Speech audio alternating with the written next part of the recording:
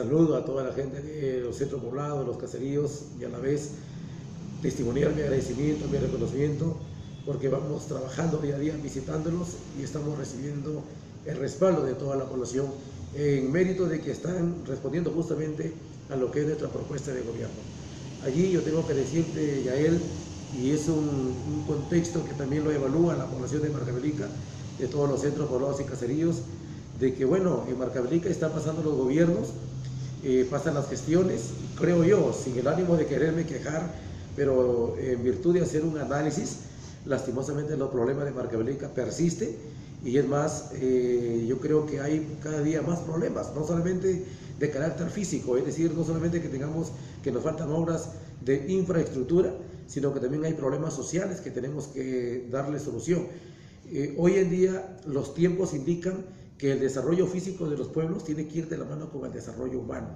Tenemos que conjugar estas dos fuerzas, estas dos actividades para poder eh, lograr pues, un distrito donde exista la convivencia social de paz y de justicia social justamente. En Marcabelica eh, es el distrito, creo yo, más extenso y más, uno de los distritos más poblados de toda la provincia suyana, después de Bellavista. Y lastimosamente hasta hoy carecemos de un eficiente servicio de agua potable y alcantarillado. Es más, en los pueblos, llámese Mayare, Golondrina, Monterón, Tangarará, Samán, La Quinta, La Noria y la zona rural, no tenemos alcantarillado. Y donde hay, en el caso de Vista Florida, por ejemplo, conversaba con mis amigos, el sistema de alcantarillado ha colapsado. En el caso de La Quinta, el, el proyecto de agua potable está abandonado. Fíjate que ahora hay otra cosa más grave. Hay una inversión de cerca de 40 millones de soles, una obra de agua potable y alcantarillado, que caramba, en su momento yo lo denuncié, no porque ahora que estamos en campaña electoral, ¿no? En su momento yo lo denuncié porque esa obra eh, ya se veía venir, porque desde sus inicios es una obra que se empezó a ejecutar con un expediente mal elaborado, se debió replantear el expediente, se debió levantar las observaciones, sin embargo se siguió ejecutando la obra y hoy qué tenemos como resultado. Creo yo que ya se acabó la plata, la obra ha quedado inconclusa, en consecuencia abandonada, ya ha sido intervenida por la Contraloría. Hay un perjuicio no solamente económico hacia nuestro distrito, sino que lastimosamente esa obra que con tanto anhelo la esperábamos, hoy en día al estar intervenida no sabemos cuándo se va a resolver. ¿Cuál es, de llegar a ser alcalde, Marcabelica, cuál sería la solución, teniendo en cuenta que ya tenemos una obra intervenida, como estás comentando, y ya no se puede tocar. Exactamente. La ley no lo permite a ninguna autoridad. Entonces, ¿cuál sería la solución ahí? ¿Qué plantearías? ¿Un nuevo proyecto? Eh, ¿qué, cuál es la solución que le darías a la gente de Marcabelica?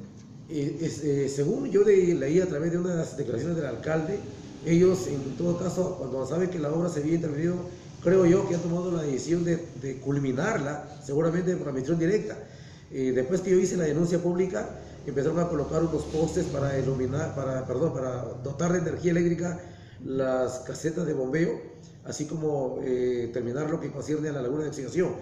Pero reitero esto, por ahora se ha paralizado, entonces nuestra primera tarea va a tener cuál es eh, hacer las consultas necesarias, en este caso a Contraloría, para conocer en qué estado se encuentra, bajo qué términos ha sido intervenida y qué se tiene que hacer para que esto se solucione. Porque también hay que conocer cuál sería el punto de vista de la empresa, porque tengo entendido de que probablemente las, las eh, cartas fianzas ya han sido ejecutadas, porque fíjate, eh, yo tengo actas, yo tengo documentos donde funcionarios de la Municipalidad Provincial de Sullana, de esta gestión, incluso eh, con algunos funcionarios de la Municipalidad de Marcabelica, han certificado dando fe de que la obra ya se hizo la prueba hidráulica y que la obra está totalmente operativa, cosa que no es. Entonces ahí tenemos que eh, consultar, averiguar en qué estado realmente ha sido intervenida la obra. Si ha sido intervenida con esa ya prueba hidráulica o de repente como inconclusa eh, o con el problema con la empresa que se le, se le debe y si no se le debe, también hay que ver por qué se ejecutó, repito, la carta. Esa será nuestra tarea, eh, yo diría quizás hasta titánica, primordial, para exigir que esta obra se culmine de una vez por todas, porque paralelo a ello, también sabemos que se viene un proyecto de mejoramiento y ampliación de agua potable para Marcabelica, Sullana y Bellavista. Pero fíjate tú, mientras eh, Marcabelica tenga esta obra intervenida por la Contraloría, de esos 300 millones de soles se supone que no va a llegar nada a Marcabelica. ¿Por qué? Porque tú sabes y entiendes de que el Estado no puede destinar presupuesto cuando tenemos una obra intervenida. Entonces, yo aquí hago un llamado a las autoridades, no lo hago con el ánimo eh, de repente de confrontar las cosas de ninguna manera, sino yo lo hago como un ciudadano que ama, respeta a sus autoridades y, ama a su pueblo, ama a su distrito, que lucha por nuestro distrito. Y por favor, señores autoridades, yo desde acá les hago ese llamado, que de una vez por todas, pues caramba, den a conocer a la población cuál es la real situación de esta obra. Incluso yo hago aquí un llamado a los líderes de opinión, e incluso a los, primeros que están eh, compitiendo en estas elecciones. También ellos están llamados a emitir su opinión, porque caramba, eh, el quedarnos callados, dicho está, de que nos convierte en cómplices de algo que es irregular, de algo que está mal. Por eso es que yo no puedo quedarme callado. Desde un momento, desde, desde el día 20 de octubre del año 2016, yo convoqué a una asamblea al pueblo en Mayares para dar a conocer lo que se venía. Pero lastimosamente eh, algunas autoridades no lo quisieron entender y hoy tenemos los resultados.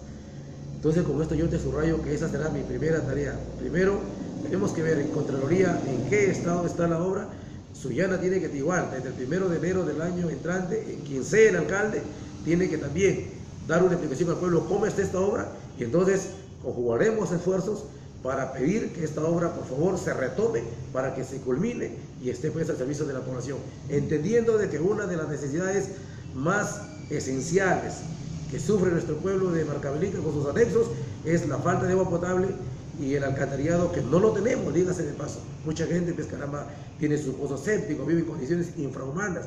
Y esto tiene que ya, pues, de una vez por todas, ya darse la solución que va a permitir mejorar la calidad de vida de la población. Eh, hace algunos años, pues, Marcavelica era conocido por ser un distrito tranquilo, donde tú podías sentarte en una plaza, caminar libremente. No había tantos bares, tantas cantinas como hay ahora. En el tema de seguridad ciudadana, ¿qué propones tú? Yo te decía temprano de que Marcabelica no solamente tiene un problema de infraestructura física, sino también tiene un problema de aspecto social. Los problemas sociales hoy en día, lastimosamente, van en aumento. Y es una realidad que tenemos que aceptarla, pero tenemos que asumirla para darle una solución. Yo no comparto con las autoridades que toman la seguridad ciudadana como un acto represivo. Eh, construir un par, eh, comprar camionetas, eh, comprar motos para perseguir a la gente que de repente comete actos de alterar el orden público. Esa no es la solución. La solución tiene que ir por tres frentes, lo que yo vengo proponiendo, es más, lo vengo proponiendo ya en campañas anteriores, porque yo me he postulado en campañas anteriores, y el tipo me está dando la razón. Yo he dicho que en Seguridad tenemos que trabajar en la prevención, en la persuasión y en la represión.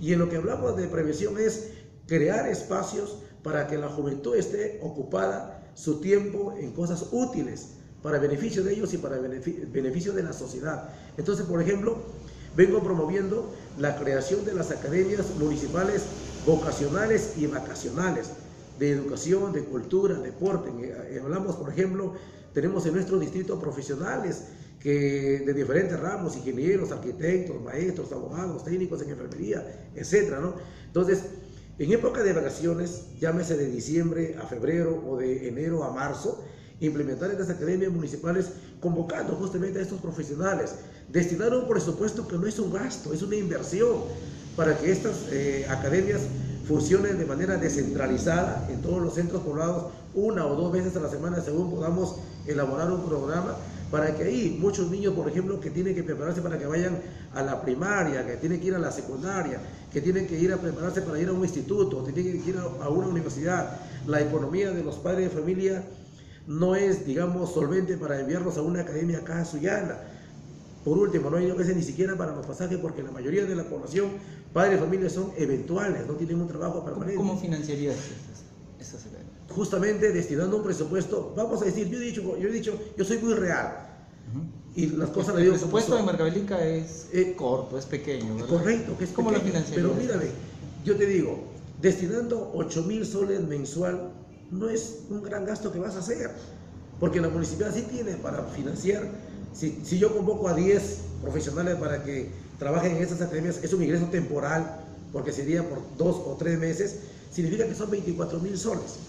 y 24 mil soles entonces vas a, aperturar una academia en Marcabelica, en Mayaritos, en Mayares, en Golondrina, en Montero, es decir, vas a eh, elaborar un programa eh, itinerante. ¿Dónde sería? ¿En qué? En, en, tema de infraestructura física, ¿dónde se realizarían en, estas zonas descentralizadas? Muy bien, tenemos locales, incluso tenemos locales que no se les da el valor agregado, no se les utiliza. Por ejemplo, tenemos la biblioteca municipal en Marcabelica, tenemos la biblioteca en Mayaritos, tenemos el salón comunal, el local multiusos en Mayares, tenemos el salón comunal en Mayares, en Golondrina, perdón. Es decir, en todos los centros poblados sí tenemos infraestructura. En, en Mayares tenemos el llamado colegio viejo, que ahí está para poderlo utilizar. Aparte de ello, por ejemplo, nosotros qué pensamos hacer para, te decía, para crear espacios a la, juventud. Hay que, y tú lo sabes perfectamente, las municipalidades deben y pueden firmar convenios interinstitucionales, en este caso con los institutos, con Senati, eh, esto, para, para, para ahí a los jóvenes eh, otorgarles becas los de escasos recursos económicos y ahí puedan estudiar una carrera técnica, desarrollar justamente cursos de carreras técnicas donde estos jóvenes luego sean pues útiles a nuestra sociedad a través de una carrera técnica que ellos puedan desempeñar. Eh, por ejemplo, hoy en día eh, la carrera de mecánica automotriz, mecánica de motos, la, carrera del oficio de la soldadura metal mecánica. Hay muchas tareas. En nuestro distrito tenemos fuentes de empleo, por ejemplo, en el aspecto de la agroexportación y tenemos un instituto en Mayares, en Binacional, donde lastimosamente no lo promovemos. No hay muchos jóvenes que estudien ahí de Marcabelica, la mayoría son que vienen de otros distritos financiados justamente por su municipalidad. Yo me hago la pregunta, ya en Marcabelica, ¿por qué nuestra municipalidad no promueve justamente eh, la subvención a estos jóvenes que deberían estudiar ahí?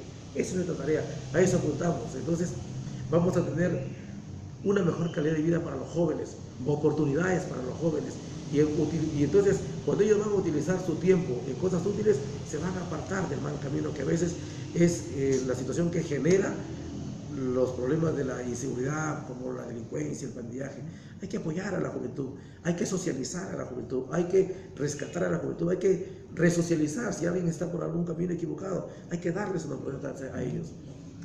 En el tema de San Miguel de Tangarara, pertenece a Marca Bélica. Vemos por ahí que hay municipalidad ha propuesto una marcha y esas cosas, ¿no?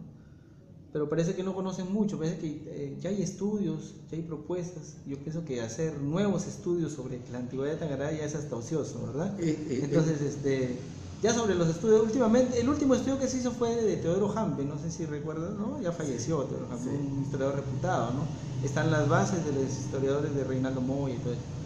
¿Qué propones tú? Eh, teniendo en cuenta que ya hay esta base, ¿no? ya hay estudios, es indiscutible que Tangarará es la primera ciudad fundada en el Pacífico Sur por los españoles. ¿Qué propuesta? Primero, esto, permíteme también manifestar mi, mi, molestia ¿no? con el centralismo piurano, porque justamente son ellos los que están originando esta situación controversial. Tenemos que entender que hay una ley, cuando fue el gobierno del presidente extinto Fernando Belaúnde Terry, que le dio la categoría de distrito histórico a Tangarará Luego, lamentablemente, ha habido un descuido de parte de nuestras autoridades. Entonces tenemos que proponer justamente ante la Comisión del Congreso de la República que tiene que ver, en este caso, en la Comisión de Constitución, ¿no? Eh, ver que se respete justamente esa, esa ley que se dio para desde ahí, ahí estamos, en todo caso, ahí estamos de una vez por todas ratificando que se respete la ley de la fecha de creación de San Miguel de Tangará que le corresponde no solamente por historia y tradición, sino por ley también, porque hay una ley que así lo ratifica. Entonces yo pienso que hay un descuido de las autoridades. Formaremos un patronato justamente, un patronato de la cultura para defender la historia de Tangará, porque defender la historia de Tangará es defender la historia de Marcabelica. Hay que entender que justamente en los últimos tiempos eh, eh, Tangará es una de las eh, siete maravillas de nuestra región. Entonces, hay elementos donde podemos hacer prevalecer a, Tangará para que se le respete como tal. En ese aspecto yo quiero aquí hacer un llamado a las autoridades de, nuestro distrito y del centro poblado de Tangará para que juntos vamos a defender lo que le corresponde a Tangará.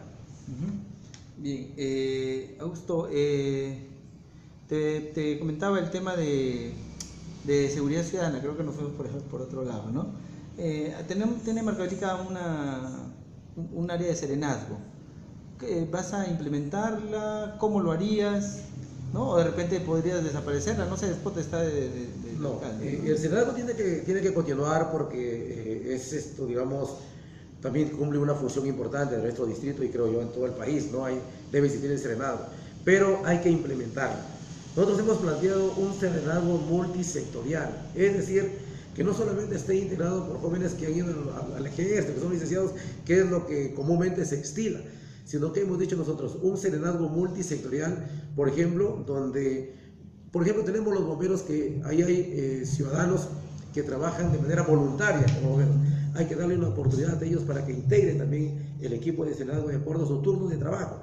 Tenemos que tener ahí en el serenazgo alguien que conozca, por ejemplo, de enfermería técnica, alguien que conozca de primeros auxilios, porque el serenazgo no solamente se le tiene que mirar como que es eh, la institución que tiene que correr en, en caso de una represión, no, sino que por ejemplo hay un accidente, hay una emergencia, está ahí estrenado. Entonces ellos tienen que estar preparados cómo acudir ante un llamado de un incendio, un llamado de un accidente, levantar un herido. ¿Cómo financiarías? Existe un presupuesto. Existe un presupuesto. Eh, en realidad no, no tengo eh, alcance el presupuesto, sería eh, ¿qué te digo? Caería en, engañarte. pero entonces, ¿cómo, lo vas a, cómo, cómo dices que es decir, lo vas a sustentar? Eh, lógico, tiene razón. El problema es que no vas, a, no vas a generar carga laboral. No vas a generar carga laboral. Entonces, vamos a eh, replantear el serenado. Vamos a, vamos a analizar, evaluarlo cómo está. No sé cuántos integra, cuántos integra. Yo veo mayormente veo a cuatro, cinco, seis en la camioneta, ¿no? Entonces hay que replantearlo. Porque yo te repito, no todo tiene que ser represivo, hay punto repente represivo, sino también tiene que ser en otro ámbito, para otras acciones, porque las emergencias son, son fortuitas. Y entonces tenemos que tener ahí serenazgo, inclusive de la mano con, los bomberos, para que estén listos en el momento de una eventualidad. El tema de recojo de basura es también un problema álgido en la mayoría de ciudades, ¿no? Macabélica no es ajeno a eso. A veces nos desplazamos por el lado, quizá Crecotillo, ¿no? la nariz del diablo, que es un sitio histórico, conocido, podría ser un mirador importante, no ha sido aprovechado y la pista llena, de basura, ¿no? llena de, de todos estos, eh, de todo esto, un botadero se ha convertido. ¿no? ¿Qué, qué propones tú? Mejorar el servicio de limpieza pública. ¿Cómo? Disculpe, no entiendo yo eh, cuál es la visión de nuestras autoridades de nuestros gobernantes. No tienen una visión, mira, eh, particularmente yo no comparto de que en las condiciones que trabajan los de servicios de limpieza pública, mira, eh, recogen la, basura en un, en un, volquete y ahí va la gente en esas condiciones infrahumanas. Yo, yo me hago la pregunta, ¿tan difícil es gestionar o financiar un carro recolector para el servicio de limpieza pública en Marcabelica o en otro distrito? ¿Tan difícil será? Yo creo que cuando hay capacidad, cuando hay decisión, cuando hay voluntad, las cosas se solucionan.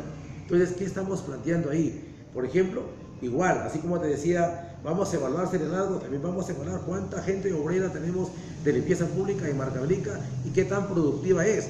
Entonces, tienen que desempeñar un trabajo eficiente, porque es que han dejado que se forme un basurero en el trayecto de Mayaritos hacia el centro binacional, todo ha sido la zona, y mírame, empezó un vecino de repente que viaja a Talara, yo he tenido la ocasión de ver, baja de la camioneta, de su auto y deja ahí eh, un saco de basura, no bolsa de basura, y anda, mira, hoy ya tenemos como 3, 4 cerros de basura. Entonces, caramba, ¿dónde está eh, el área de, de, limpieza pública? ¿Quién tiene cargo esa jefatura? Entonces tenemos que decirle que tiene que trabajar con un plan de contingencia, con un plan de trabajo, que no descuide para nada la limpieza pública, porque la limpieza pública es de todos los días. Entonces, hay que diversificar las acciones de la gente que trabaja en esa área. ¿Cuántos trabajadores de limpieza tiene la municipalidad de Macabélica? Justamente yo estaba preguntando y ni ellos sabían, ni ellos sabían y me decían que hay cuatro, que hay seis, que a veces contratan, pero creo yo... ¿Cuántas unidades móviles? Nomás yo he visto que hay un volquete y hay una, una moto furgoneta. Un volquete que pasa cada ocho días, cada 15 días. Entonces, ¿cómo renovarías tú el parque automotor, digamos? Exactamente. ¿Cómo, lo harías? ¿Con, qué dinero lo harías? Ahí va, muy buena pregunta, porque tenemos primero que ver el presupuesto, el financiamiento. Entonces, ahí nosotros tenemos que dinamizar el presupuesto de Marcabelica y gestionar, tocar puertas.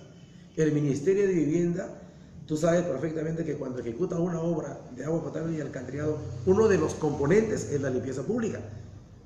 Uno de los componentes de, de- de- de lo que significa el saneamiento básico para un distrito, para una provincia, su componente es el área de limpieza pública. Y entonces el Ministerio de Vivienda bien está para gestionar y que nos apoye en ese aspecto. Mira lo que hizo para Sullana. A Sullana mandó 10, eh, a través de, la cooperación YAICA y hicieron llegar estos carros recolectores de basura, ¿no? Tú lo sabes, ¿no? Fue el Ministerio del Ambiente. Ministerio del Ambiente, perdón, Ministerio del Ambiente. Entonces, son correlativos.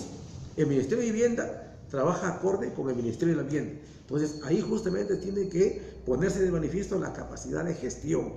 Primero, hacer un diagnóstico de Marcabelica, cómo nos encontramos. Mira, tenemos centros poblados donde no hay limpieza pública. La limpieza pública se hace nomás en la zona muy cercana, llámese Marcabelica, Mayaritos, Mayares, y creo que hasta Golondrina. En otros lugares nunca va la limpieza pública.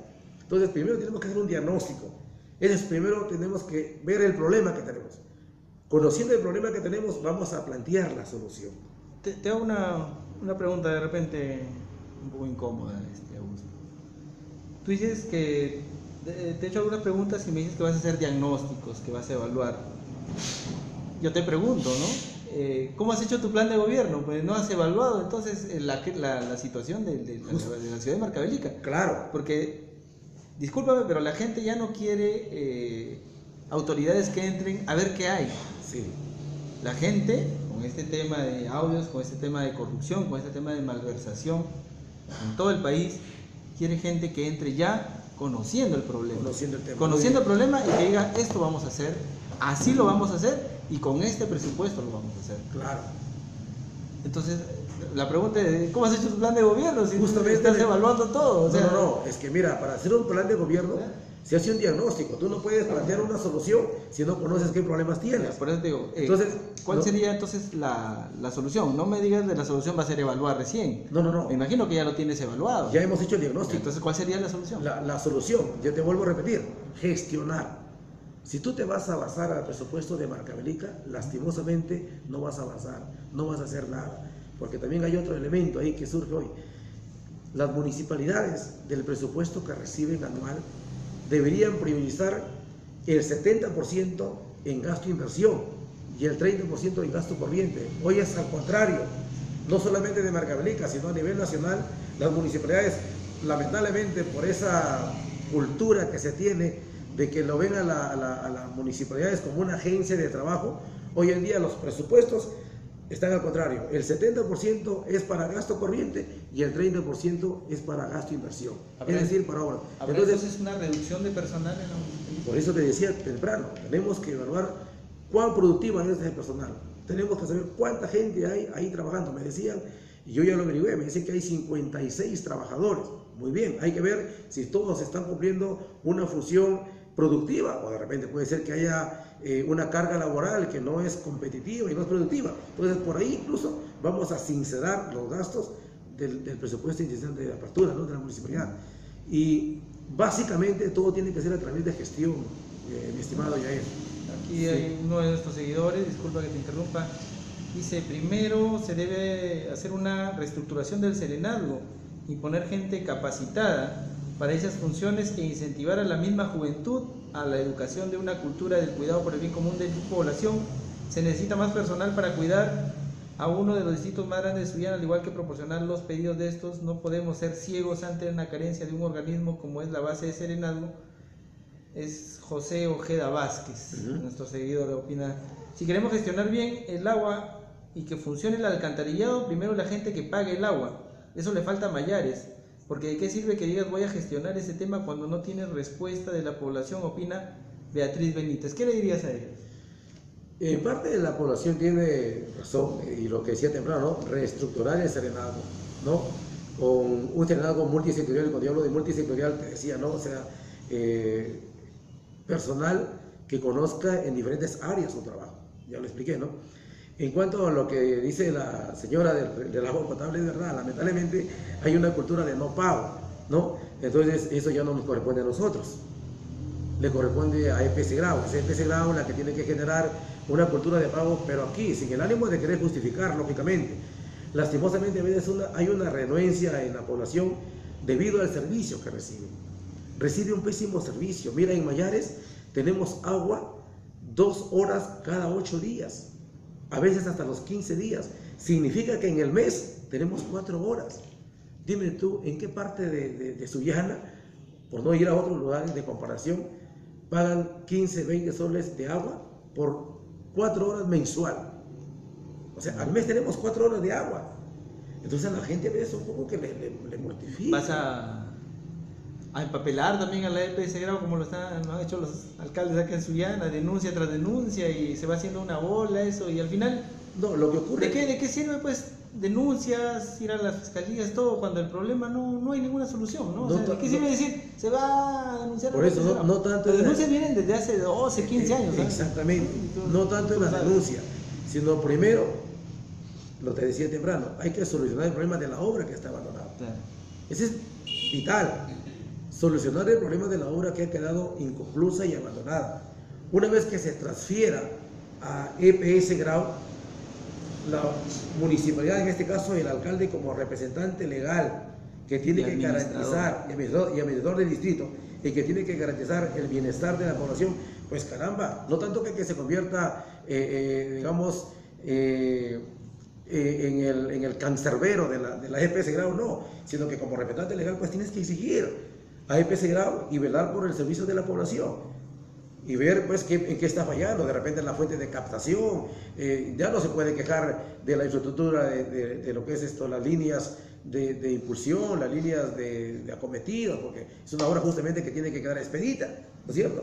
Entonces le diremos PC, PC grado, tú cumple para que la población cumpla.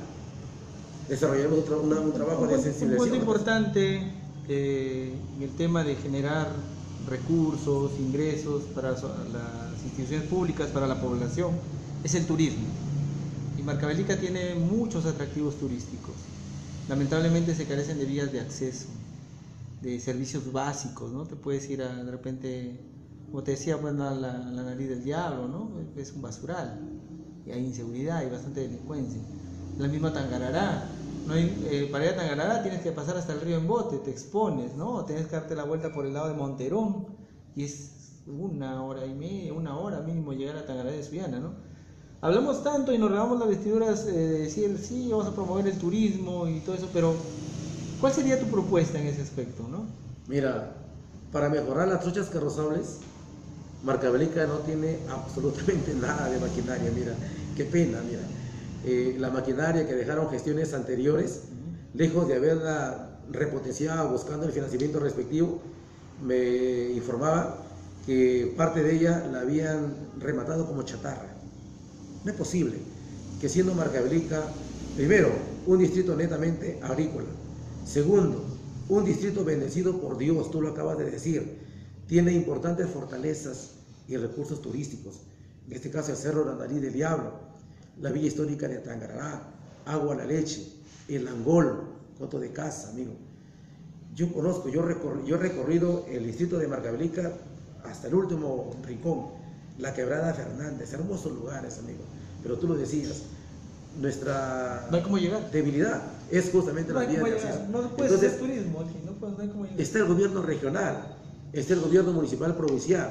Entonces, mm, he visto que en los últimos tiempos, lastimosamente, no hay ese trabajo corporativo desde la región, desde la provincia y, y, y que pongan lo que le corresponda para... Yo, yo he ido a, a Maestranza, he ido al gobierno regional y veo que hay maquinaria. Eh, la subregión siempre dota de combustible a las municipalidades. Entonces, caramba, ¿por qué no gestionar maquinaria para mejorar las trochas carrozables? Es lo primero. Hay un proyecto, gracias a Dios, eh, que se está haciendo a través de Provías. Va a haber un mejoramiento de la vía de acceso desde Mayares hasta Nangolo, así como hacia la zona de Pájaro Bobo, en buena hora, muy bien. Entonces, vamos a ser uno de los vigilantes para estar de cerca en la gestión para que esto se desarrolle lo más pronto posible. Amén de ello, pues también tenemos que hacer lo que a nosotros nos corresponde, te decía temprano, ¿no? gestionar maquinaria, pedirle la colaboración, el apoyo, como, como se le quiera llamar, a la subregión, al gobierno regional, a la municipalidad provincial de Sullana. Es decir, tenemos que tener un alcalde que sea un peón más, no un alcalde de saco y corbata, no un alcalde que ande bien planchadito, no. La gente me conoce, yo soy un hombre de campo, de a pie, como se dice, ¿no? Entonces nosotros tenemos que ser un obrero más en la gestión. estar tocando puertas. Si tú no sabes a tocar puertas, amigo, pues pasarán cuatro años y seguiremos en lo mismo. Aquí tenemos que poner de manifiesto nuestra capacidad de gestión, poner de manifiesto que nos hemos preparado para hacer una buena gestión municipal. Bien, eh, una seguidora Ángela Sánchez dice acá en la Ramón Castilla, que es la avenida principal, solo se le conoce por el nombre, usted dice. Problemas hay muchos, pero pocas son las personas que lo conocen ahorita. Puede decir, voy a hacer esto o aquello, pero si no conoce a su pueblo, mucho menos va a conocer los problemas. Ángela Sánchez, ¿qué le responde? Muchas gracias, la señora Ángela Sánchez, o señorita, con todo respeto. Muchas gracias por su apreciación, es importante. Eh, hay personas que no me conocen físicamente, es decir, en persona no me conocen, pero yo sí tengo que decirte que gracias a Dios soy, creo yo, uno de los pocos que está siempre defendiendo a nuestro distrito. Y lo he dicho a través de mi medio de comunicación en el cual yo trabajo, siempre estoy para levantar la voz en nombre del distrito. Y bueno, en los lugares que no me conocen físicamente, estoy yendo a visitarlos justamente para compartir con ellos nuestra propuesta de gobierno municipal, para escuchar de ellos sus sugerencias, sus sugerencias en buena hora. Eh, por ejemplo, hablamos de la Ramón Castilla. No es posible, caramba, que una vía prácticamente internacional. Entonces ahí falta, falta de muñeca, falta de gestión, porque hay que exigir. Hay que exigirle a Provía Zonal, porque eso le corresponde a Provía Zonal, así como han mejorado el, el, recapeo de la Panamericana desde, desde Lóbulo Turicarami hasta Talara y bueno, todos los lugares que he pasado, igual pues también tiene que, acá urgente, ya se elaboró el expediente, tenemos que eh, acá exigir de que de una vez por todas se haga esta obra. Esta es una carretera internacional, ahí no puede intervenir la municipalidad en el aspecto económico, pero sí en gestión, sí en exigir. Aprobado. Yo te decía temprano, tú como alcalde eres el representante legal de tu distrito.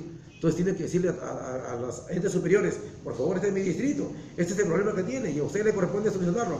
Acompáñeme, ayúdeme, apóyeme porque yo quiero darle una mejor calidad de vida a mi población. Bien, Augusto. Eh, finalmente, un minuto para que tú puedas dirigirte a las personas de Marcabelica y decirles por qué deberían votar por Augusto Chiroque Nomura para alcalde.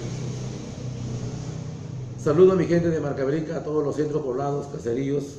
Yo he recorrido mi distrito y aún lo sigo recorriendo día a día y conozco las necesidades que tenemos ahí en nuestro distrito. Son 30 años que vivo ahí en el distrito y he visto cómo pasan los gobiernos y los problemas siguen presentes. Yo creo que ha llegado el momento, amigos, de que asumamos con mucha responsabilidad el gobierno y la gestión. No podemos seguir en la improvisación, no podemos seguir en el atraso que hasta hoy se vive, por favor. Incluso para ser candidato no solamente tienes que elaborar una lista a la, más que nunca, como dice Quirimente.